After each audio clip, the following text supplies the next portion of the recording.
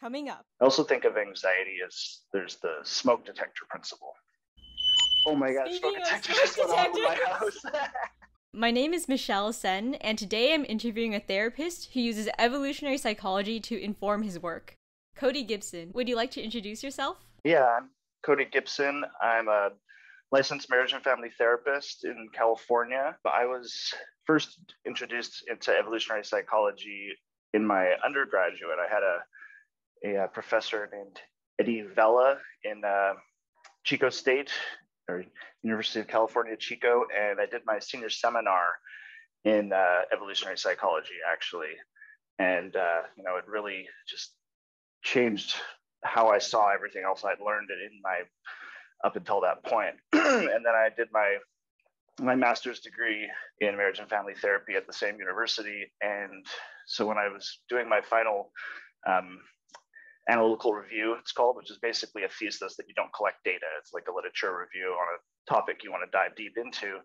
I chose him as my advisor, even though he didn't teach in that program. And he helped guide me towards the topic of um, my paper was called Towards an Evolutionary Perspectives on Psychopathology. So then I was was able to then take the evolutionary theory and then apply that to um, you know mental illness and that kind of thing, which helped prepare me for moving forward and using evolutionary psychology in my work as as a therapist in my career. Um, and then after that, I sort of I, at some point I discovered the Beat Your Genes podcast with Dr. Lisle, um, and, that's sort of how we connected was through that Facebook group. And he really just like really inspired me because up until that point, I hadn't actually seen anyone apply it in that way. You know, most people just sort of think of evolutionary psychology as these underlying things in our psychology, but he's like, no, you can actually take these principles and apply them to in the therapy room. So I've, and then I've continued to read evolutionary psychology books, um, you know, by authors like Steven Pinker and um, David Buss and you know, Dar- Darwin's Dangerous Idea by Daniel Dennett and um, uh, more uh, moral tribes by joshua greene had a lot of influence on my thinking and like the moral end of things. And um, so i've just sort of taken these principles and tried to apply them to my work while still maintaining the evidence-based practice of like whatever models i would a, a normal a regular therapist would use. It's not something so different as um, dr Lisle might put it but i sort of weave it within my work with other people or with with using other models and things like that. Mm, yes, that's brilliant. And your analytical review, which you wrote back in 2006, it blows my mind because it's so well done. like, so well done. Thank you. And what is evolutionary psychology for those who don't know? So basically, evolutionary psychology assumes that you know our brains are built by our genes and have um, have evolved to solve adaptive problems that we continually faced over thousands of years in our in our past history as um, typically we were living as hunter gatherers in you know small tribes of like 50 to 100 people. Um, and so um, that's and that those those are essentially pre-wired circuits that they call modules and that those pre-wired circuits are now being applied to the modern world um, which we um, so sometimes problems can come up as a result of that, which is referred to as evolutionary mismatch theory, where you know we're using these Stone Age brain to apply it to problems in the modern world, and we're facing new and novel problems. So sometimes that can, um, you know, cause difficulties for people. And so that's you know one of the first things that you might want to do if you're trying to apply evolutionary theory as a as a therapist, to be like, how is you know what you're doing how would have it been effective 10,000 years ago, but it's not as effective now. Um, and then it also takes like an information processing um, model of the of the brain, which basically says that the brain is constantly processing the information from the environment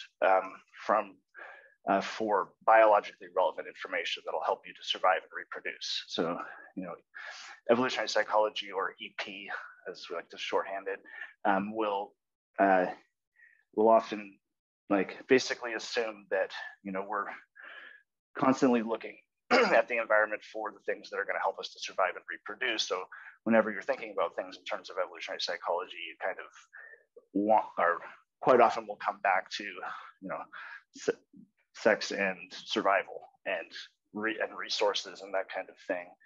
Um, and so um, essentially evolutionary psychology can be used as like a, a meta theory for other theories. Like you know that's sort of how i try and use it in my work is to like you know any evidence-based pro- um, therapy is still useful whether you're using evolutionary psychology or not but it can help be a theory that can connect between the different theories too. Um, so that's a useful way to integrate it i've integrated it into my work. Um, and then there's also the you know, evolutionary psychology is essentially that there's these universal processes that are going on inside of everybody. And we find those out through cross-cultural and through twin studies and things like that, that we sort of figure out what are these universal processes, but then you know, not everyone is the same. And so there's also um, individual differences in you know how your own personal environment affects you and your own personal um, personality um, is made up. Um, so that's a few of the, the basic overview of, of EP. Thank you so much. That was a great overview of all these different principles in EP. And can you talk more about the significant universals in counseling? Yeah, um, because sometimes we like we like we want to like think about things like uh, like if there's a relationship issue, like uh, reciprocal altruism is a major um, theory in in uh, in EP, which basically says that you know the way like we we give to other people with the expectation that they're at some point going to be there for us too.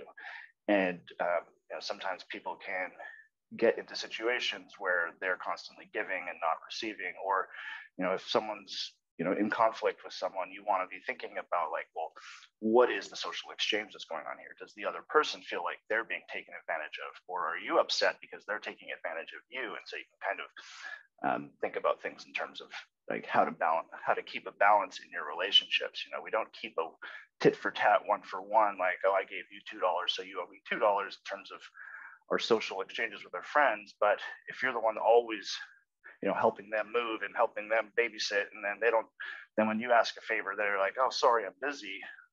That makes you that changes your cost benefit analysis on the relationship and you know maybe and so that can cause problems. Um, another universal um, is uh, parental investment theory is a major idea which I think basically accounts for almost all differences in uh, male female psychology.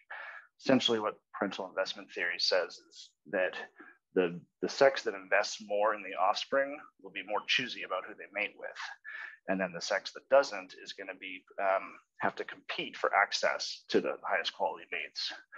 Um, and so, and then in the modern world, you know, we we have birth control and you know, it's not as big of a deal in the reality sense of it, but we still have these underlying evolved brain mechanisms where if a woman has sex with a man, she assumes biologically that there's like a 5% chance that she's she's already pregnant.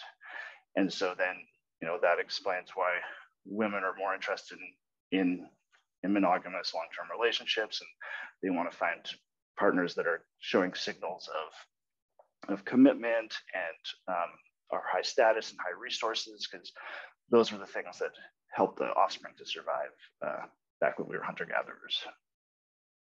Um, and then there's uh, inclusive fitness is another uh, major foundational theory in, in evolutionary psychology, which basically was says that you're more likely to make sacrifices for your kin. That the, the close, the more genes you share with someone, the more it's actually in your gene's best interest to make sacrifices for that person because those genes live in another person. Um, but then in, in counseling, you know, sometimes people will, you know, they'll be in conflict with their family and they're like, well, you know, both culturally and biologically, they're being told family is the most important thing. I need to make sacrifices for my family. But, you know, maybe they're actually making too much, too much sacrifices and you know the family's making them miserable and we need to adjust how they create their boundaries with their family and what their what kind of sacrifices actually are appropriate in the modern world as opposed to just following what the genes are telling us would be a good decision 10,000 years ago. Um, and then uh, there's a uh, evolutionary trade-offs is a is a is a, a big theory where essentially um, what it, you know anytime we like the biggest example of trade-offs is is uh, in personality. Like we have you can't be both agreeable and disagreeable right? Like you have to like there have to be somewhere on a set point. Um, and so um, that's can be useful in thinking about um, individual people too. Um, and then yeah social status is, a, is also a major uh, piece of of uh, evolutionary psychology and, and, like all people are sensitive to social status because um, you know that was one of the main things that if you were had high social status in the tribe then you were more likely to get the good mates. You were more likely to get the good like you know the best cut of meat after the hunt. And um, so that translated into like literally millions of different behaviors in the modern world. Um, so one thing we like to think when we're looking at people and what's going on in their lives is if you're confused what's going on and what's why someone's doing what they're doing, the best place to start is thinking about social status and how does this this thing actually relate to um, you know status and um, because that's what would have helped the person to get the best mate and to and do and you know climb those dom- dominance hierarchies that are in the competitive processes of life. Exactly. As Dr. Doug Lisle says, look for where the status lies in any problem. Yeah. So you touched upon individual differences in personality. Can you explain more how evolutionary psychology helps explain these individual differences? Yeah. So um, essentially, we figured out in psychology that um, there's five basic dimensions in personality that people differ on. Um, and you can think of each one of these as a bell curve. So most people kind of fall in the middle, um, but then it, you know, there's people on all on every position out towards the very far extremes too. And um, so, like, you know, even though we want to think of like people in the middle as normal, it's all normal in the sense that if you're going to have a bell curve, you're going to expect people to be outliers too. But um, essentially the further you are out on the edges of the bell curve, the more likely you are to make mistakes in your thinking because you're you're uh, have a distorted, essentially a distorted perception of reality in favor of a certain type of thinking. So the the five um, the five uh, elements that we are we can remember them with the acronym OCEAN, which um, stands for openness, conscientiousness, extroversion, agreeableness, and neuroticism, or better said, is uh, emotional stability. Um, so, for example, with with openness, I think of the the evolutionary trade-off there as um, safety in the known versus opportunity in the unknown. Um, so, someone that's you know not very open, they may miss out on opportunities in life because they're like, oh no, I'd just rather not. I don't know what's going on with that. And so, um, but then on the opposite of the bell curve, someone that's really open, you know, they're going to have you know a pretty exciting life because they're always trying to do new things. But then you know they might get themselves into trouble because they they they're underestimating the risk of these new experiences and um, and so you know they may be open to like trying drugs and that kind of thing and then end up down that path which would get them into trouble um, and so it's there's no right way to be on any of these, but and in the Stone Age, it was best to be in the middle on all of these, essentially, statistically speaking, over the millennia. But in the modern world, some of these are you're better off on one side or the other. And so, um, one other thing to consider when in personality is that it's it's pretty much fixed. Like this is not something that we can easily change as a therapist, and so it can be very useful to pick out to to know your clients in terms of these these five factors because it um, you know where where where to target. You know, you, if someone's really really introverted, you don't want to just be like, okay, well, we just need to do assertiveness training and then you're going to be extroverted. Like that's not how it works. Um, and you know, if someone's really not open to experience, you're not going to like try and get them to do things they don't want to do or you know introduce strange ideas and theories that they're not going to be open to listening to um, so you're going to tailor how you communicate with people based on um, how you read their their levels on these different things. Um, so the the next one is conscientiousness. That's a really um, I look at that trade off as um, about conservation of energy. You know, when we were in the Stone Age, we only had so many calories, and you know, people starved to death all the time, and so you really had to be careful about how you spent your time and energy because if you spent your energy in the wrong on the wrong things in the wrong direction it could literally lead to death. And so it was actually a, a good like being low in conscientiousness in the stone age might mean that you didn't waste your energy on something that you didn't need to.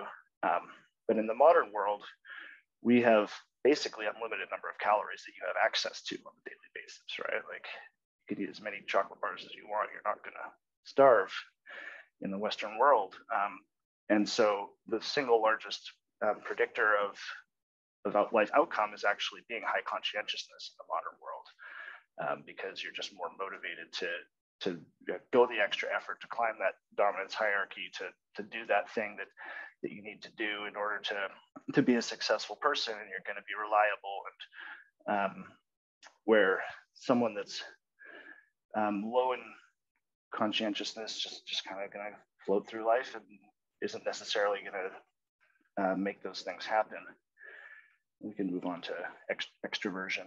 Um, extroversion and introversion is essentially about um, you know investing in social capital. It's how how many people do you is optimal for you to have in your network of people? And you know when we were you know 100,000 years ago if you had like you know two or three really good friends that were you know, your hunting party or whatever or like your group of people you gathered with you knew that those people were super solid in your life you know that was a really good you you had that that capital there um, where you know if you were more extroverted maybe you would you know not be really close with anyone but pretty cool with everyone. Um, but then you know where on that spectrum is optimal for for having people to have your back. Because essentially in the stone age friendship was about like an insurance policy for if, if you got into trouble and you weren't able to feed yourself you know they would be there for you or you know if you were hurt or sick. Um, you would have people there that would step up for you. Um, and so but in the modern world you know we have such a, a huge um, possibility for networking. And networking is such a makes such a difference in how successful we are in our lives. Um, and it's also on the flip side it's also very easy to get isolated in the modern world just you know watch tv and play video games and listen to podcasts and youtube and not even hang out with anyone. And it's actually tricking your brain into thinking that you're doing social activities because you're having you know, all of those kind of things light up the, the social networking circuits in your brain. Um, and so you can actually get feel very disconnected especially if you're very introverted and like you don't have a huge drive inside of you to go to the party or go hang out with a bunch of different friends every weekend and you're just like no i have my one friend and if he's busy then i'm not doing anything this weekend. Um, and so then that that can make people at risk for depression and that kind of thing. And as a therapist like i always want to know where does someone fall on that? So to help them to solve their own social situation social problems like you know if someone's really introverted i'm not going to like try and get them to you know go to more parties do like really extroverted things as a way of solving their social issues it's like no we need to figure out or maybe like they're like, oh yeah, I have one or two really good friends, and that's the way I like it. I'm like, great, that's perfect for you. Like that's not a problem. But if someone's like introverted, extroverted, and they're like, yeah, I have one good friend, but you know, doesn't really do it for me, then it's like, okay, here's a problem that we can address together. And then the next one is agreeableness. So this is essentially estimating the cost of going along versus putting your foot down in conflicts of interest with people. You know, because we don't share our genes with other people, we we inevitably have conflicts of interest when there's relationships. And you know, most people kind of fall in the middle of the bell curve, and it's sort of in social exchanges, they're perfectly happy to do around a 50 50 trade. But, you know, some people are, if they're really agreeable, they're overestimating the cost of saying no. And so when someone asks them to do something or someone's trying to get them to go along with something that they don't want to, they just go, okay, sure, like because they want to just appease that person and they want to avoid conflict. Where if someone's really disagreeable, it's the opposite. They're constantly feeling like people are trying to take advantage of them and they underestimate the cost of saying of of you know saying no and putting their foot down is like it's my way or the highway and they can actually end up really damaging their social relationships as a result of um, you know if they don't get the advantage in every social exchange they feel like they're being taken advantage of. Like you know if they don't get 60% advantage that feels like 50% to them. And so they're distorted in, in how they see it. Um, another interesting um, thing that can come up in counseling is that quite often someone that's really agreeable will end up with someone that's very disagreeable because they're they're trading matches and the, the agreeable person's happy to give you know give away the advantage to the disagreeable person all the time. And then they also gain from the disagreeable person will be like their barking dog and will not allow other people to take advantage of them. It's like essentially what's going on is that the disagreeable person is like i'm the only person only person that can take advantage of, of him or her. Um, and and so but when that can also cause huge issues for people because they're constantly being taken advantage of and feel like they're being walked over in the relationship. And um, so you can help people to to see how that's going on. And again you can't change how someone is on these but you know you can change people's individual cost benefit analysis of specific relationships or specific contexts or come up with you know pre-rehearsed strategies of how they're going to approach something so they are more effective and more able to um, you know, say no or like have have better boundaries and that kind of thing even if you can't change the overall agreeableness or disagreeableness across all situations in life and then the and then the next on the personality spectrum is uh, neuroticism or uh, emotional stability. I, I rarely will say neuroticism to people because it just has such a negative context. Even saying you're emotionally unstable sounds pretty bad. yeah, I understand. So I'll, I'll, usually just say the like, you know, not as emotionally stable or something like that to sort of soften the blow a little bit. And um, essentially, the the I think of it as the emotional sensitivity setting um, in your nervous system. So, you know, some people are very sensitive and have really big emotions, and some people are less sensitive and, you know, they're just more even keel and they're not as, you know, when bad things happen, it's not as big a catastrophe. And when good things happen, they don't get as excited about it. Um, and, you know, in the, in the Stone Age, if you were had a lot of negative emotions, those negative emotions were designed by evolution to keep you safe and to warn you about you know possible risks and you know and and so you would but in the modern world it's not as dangerous of a world and like you know having these big negative emotions actually have can have more negative impact because you're more susceptible to just you know having negative emotions. And so you're more likely to be depressed and to um, overreact and then you know end up hurting your relationships because when people get emotionally dysregulated you know they, they're much less rational and you know when you're saying and doing things from your emotions sometimes you'll say and do things that can end up hurting the relationship. And um, so like i'll take that as i'm working with someone that's really emotionally unstable i'll help them to try and find like you know develop the strategy to hit the pause button on arguments and that kind of thing walk away do some kind of coping skills to regulate their emotions again and then you can always come back and have a discussion when you're not having these big emotions that are um, likely to lead you to say and do things that are um, not necessarily going to be helpful thank you cody that was a wonderful explanation of ocean and i love how you also say that behavioral genetics teaches us that personality is stable over time, relatively. So, this is why it's so important to know these traits and also for you as a therapist to understand where does your client lie along these different spectra. And as a therapist, you also see people with a variety of disorders. They come to you for with issues like depression, anxiety, PTSD. So I'd love to hear, for instance, your take on depression. What causes it, and how do you treat it? Yeah, for sure. Um, there's a theory called the behavioral inhibition theory, which basically says that you know if we're because it like we, I mentioned earlier in the Stone Age, we only we had limited calories, right? And so if we were doing things and constantly failing at them, we were better off doing nothing than continuing to waste our energy trying to to to do something that's not working. And um, so a lot of depression comes from what we would call failure feedback you know and it's in when people are not being successful in the really important domains of life then they're likely to be depressed. And so you know, one of the first interventions i'll do is just to like anal- do an analysis of you know how's your how are things with friends and family?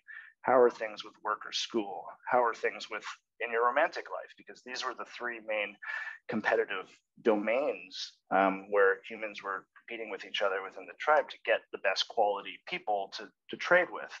And um, you know more times than not almost every time if someone's depressed they're not saying oh yeah i have i have a job i love and i'm making you know really good money and i and I have like the best romantic relationship I've had of my life, and I just have the most amazing group of friends, and and and I'm constantly doing things with all these people, and I'm being really successful. Like, if that's true, you're probably not going to be depressed, even if you're genetically susceptible to it.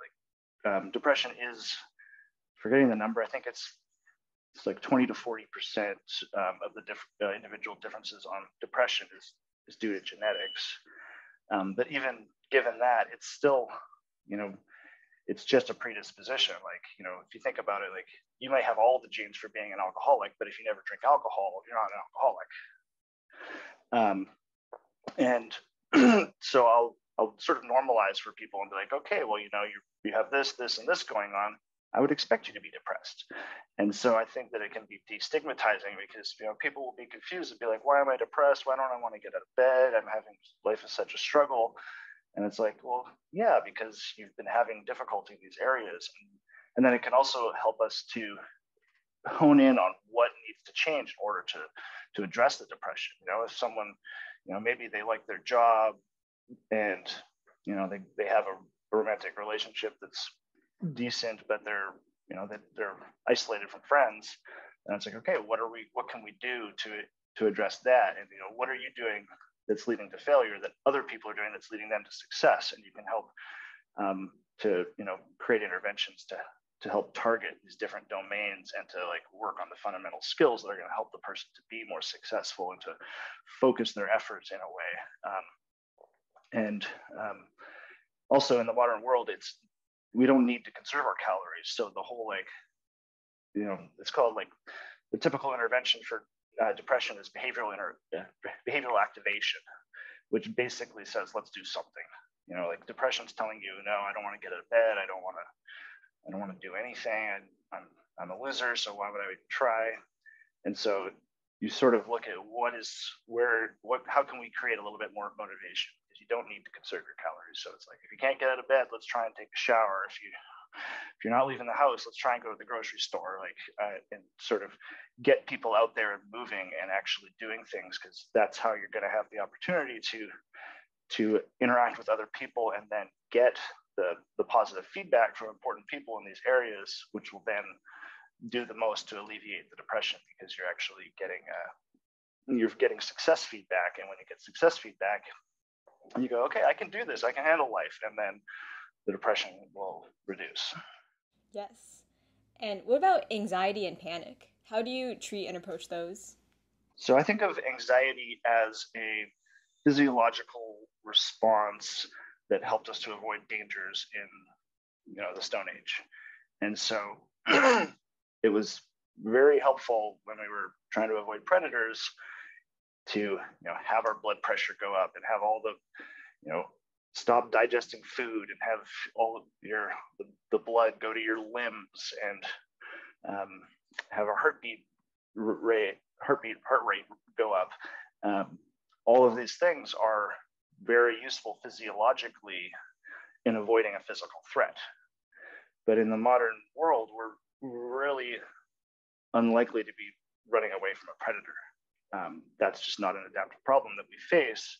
And so, you know, if you have a deadline at work or something like that, having all those physiological things going on in your body aren't actually going to help you to like get the paperwork done faster. You know, maybe the anxiety associated with it will, um, but um, the physiological responses aren't. So we can actually um, just target the physiological response um, rather to, to help the person. So um, exercise is, is really useful, especially like if someone's having a panic attack or something like that. Um, the if you just you know do a bunch of push-ups or jumping jacks or running in place or do some burpees and then for a few minutes and then you stop essentially you're it tells your body, oh, I must have escaped the predator because why, well, I wouldn't have stopped running otherwise. You may have to do that a few times that you can actually cure a panic attack just through exercise. Um, and if someone is is really has a stressful thing coming up that day, you know, you have a presentation or um, you know, you just or you just have a lot going on in your life and you're feeling really stressed out and it's harder to deal with it. You know, if you start your day with a with exercise, you're gonna have released a bunch a lot, a lot of that extra energy and and feel more calm. Um, but there's other things too you know taking deep breaths is has a because the when you're feeling anxious you breathe shallow. So um, or um, different mindfulness activities and things like that can help be regulating on on the nervous system too. Um, i also think of anxiety as there's the smoke detector principle which essentially says that we're better off having a bunch of false alarms than to fail to detect a true threat because that would lead to the predator getting you and dying, right? So, um, you know, oh my God, smoke detector just went off in my house. um, well, that was good timing. That was a false alarm. um, and and so um, and different people have their threat detectors set a little differently. Um, you know, and I, I, kind of like to think of PTSD in that way too. It's um, you know, it's people are having anxiety about related to to threats, and when someone has a traumatic event happen to them, it actually makes them much more sensitive to potential threats, and especially to the in the context of where the the negative thing happened. Um, and so, you know, PTSD is actually a whole bunch of really adaptive um, responses to, to in a dangerous situation. But the problem that comes up is we we have um, a you know we end up applying these these what's like would be helpful if it's you're in a war zone to in the in just everyday life and then it, it gets in the way of people's lives so um, you know, for for instance, if you're have PTSD, you know, you like just really avoidant of of different of situations that remind you of the trauma or you know like if something bad happened in a car you're not going to want to get in the car again. But then if you can't drive to work then that's a major issue. But if you just drive it more carefully as a result well, that's not really a problem. Um, and you know it makes us think about you know people will ruminate on what happened and, and you know people will have flashbacks or have bad dreams related to what happened. And it's like the way that that's the brain processing um, because you really want to make sure that you've like looked at every single little possible angle and detail related to this horrible tragedy that happened to potentially try and avoid it again in the future. Um, but then you know if people get too stuck in that and then they're not able to to sleep or you know they're just constantly thinking about it and it's constantly stressing them out then that could be uh, a major problem um, and uh, and I don't know something I've found it's not necessarily an evolutionary psychology principle, but um, exposure therapy. I've had a decent amount of success with working with people with trauma because um, you know essentially the brain is always like it changes when it has new information available to it. And so if you go to you know whatever the place is that's causing you a lot of anxiety or the activity or the thing that's the trigger, but then do it in a way that is relatively safe and controlled or you know you start off maybe just imagining about it and then eventually go into looking about looking at it then you go to doing it and you kind of spike the anxiety and you sit there with it and then nothing bad happens and nothing terrible happens and then it goes down to uh, to like a manageable level then the, the brain kind of you do that a bunch of times in a row the brain the sort of information processing of the brain goes okay maybe i'm overestimating the threat of the situation. And then the next time you go it's a little bit less and you can actually um, face whatever it is that you couldn't face before Thank you so much for sharing how you approach these mental conditions. I love how you both explain the theory and then give practical solutions, which I'm sure the audience will really appreciate. For example, learning to do like jumping jacks burpees when one is anxious. That is really helpful, concrete advice. And personally, for me, when I feel really anxious, I go exercise and that is like instant relief. It like burns off all that excess anxiety, just like it would have helped my Stone Age ancestors flee from predators. So it makes perfect sense. I'm wondering, what's your overall therapeutic approach? Can you talk about EP meta theory? Yeah, I mean, essentially, I I like to take an eclectic approach, and you know, one of the big things that people have resistance against evolutionary theory is that it's you know they they kind of feel like, well, you know, I have there's all of these other theories that are perfectly legitimate. So why does this one think it's any better than the other? And the answer is that it's not. It just allows for first principles to you know unite different ideas. But you know any any approach to therapy that is evidence based can stand on its own as a legitimate therapy. But the way that I think of of EP is that it allows me to go through these to, to take from these different um, evidence based practices and then unify them in a way so that depending on the individual needs of the client, I can tailor my interventions and what I'm my approach to to, to their needs.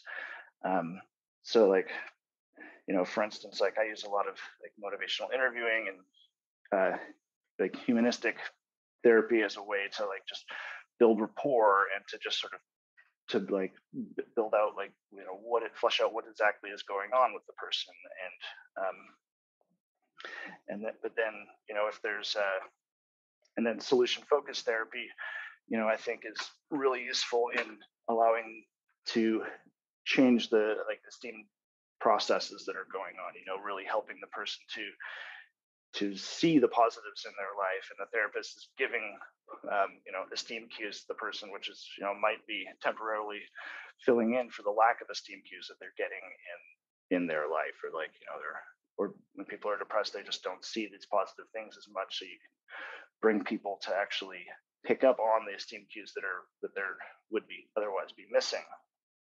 Um, and you know, a cognitive a cognitive behavioral therapy approach can it's still used to like deconstruct thoughts and feelings and biases and distortions and use it in the context of of uh, you know evolutionary thinking and and you know bring in evolutionary mismatch theory and personality and all that kind of thing. Um, and then, you know, like I mentioned, exposure therapy before, and or I will do EMDR with people, um, and I, I think those fit in in terms of like an information processing thing, and like those approaches help the brain to process the information that's been, um, you know, become dysfunctional due to to trauma and or just high levels of anxiety and, and that kind of thing. Um, so I'm able to still, I don't have to like commit to one specific model. You know, I can take different tools from different models and different approaches and then unify them in my in my own mind in terms of like how does this fit in in the evolutionary framework and i think that's one of the really powerful things about evolutionary psychology is that it allows for people to have to come from what we call first principles. You know, there's ultimate causes and proximal causes for for everything. And so, you know, evolutionary psychology looks at the the ultimate cause is, you know, we have these things that were adaptive in the Stone Age and these pre-wired circuits that helped us to, to solve these adaptive problems. And then, but in the proximal is, you know, what's going on in this person's relationship at this moment? What and you know what is going on in this person's life that's causing problems in this moment? And it has you know on the surface nothing to do with the stone age. And so you know we keep that in our mind and you can be doing both. And so you're looking at you're using these different models to approach the proximal causes, but then you can still keep evolutionary psychology in the back of your mind as a way to, to, to continue thinking about the ultimate causes about what's going on in someone's life.